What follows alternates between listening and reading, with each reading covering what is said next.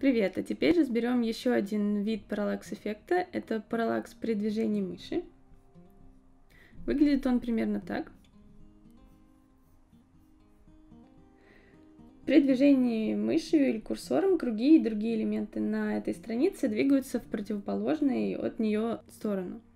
Посмотрим, как можно повторить такой эффект в редакторе тильды. И для этого я воспользуюсь Template ID а, внизу справа экрана копирую его и использую эту страницу в качестве шаблона в своем проекте. Для этого я создам новую страницу.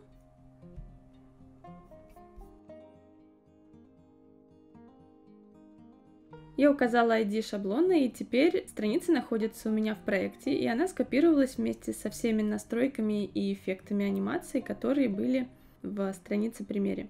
Зайдем в настройки Zero Block и посмотрим, как э, он устроен. Выделим один из элементов, например, круг, и с помощью клавиши Tab откроем настройки элементов э, нулевого блока. В самом низу нам нужно найти Basic Animation или базовая анимация. Здесь мы видим, что в настройках э, выбран Parallax эффект, и Parallax эффект настроен при движении мыши. Ниже мы видим а, два значения distance x и distance y. Это максимальное расстояние в пикселях, на которое будет смещаться элемент, когда мы двигаем мышью. Если мы посмотрим значение параллакс эффекта у других элементов, оно будет отличаться. От этого значения зависит, с какой скоростью будут двигаться элементы. И движение с разной скоростью создает на странице эффект глубины. Давайте попробуем создать новый элемент.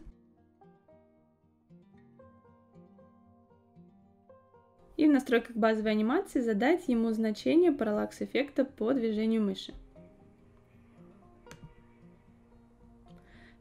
Здесь нам нужно выбрать distance x и y. Я пропишу здесь два одинаковых значения.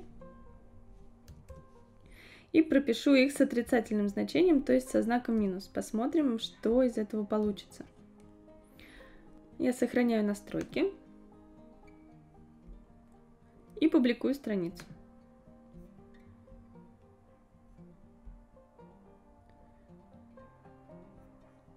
Видим, как сработали настройки параллакс эффекта. А за счет того, что у нового элемента я задала значение параллакса с, со знаком минус, отрицательное значение, в отличие от других элементов, он двигается не против направления движения мыши, а вместе с курсором,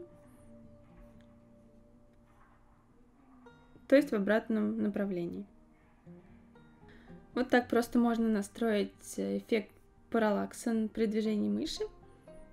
Я желаю всем удачи и пока.